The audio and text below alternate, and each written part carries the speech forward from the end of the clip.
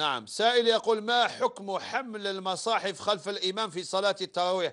هذا ليس من عهد ليس من هدي النبي صلى الله عليه وسلم ولا من هدي الصحابة. هذا مكروه كراهة شديدة وقد تصل إلى الحرمة. كيف الإمام يقرأ وأنت تقرأ؟ الإمام يقرأ وأنت تصلح له بالمصحف وشاد مصحف. وشفنا بعض الجهلة يروح الصف الأخير.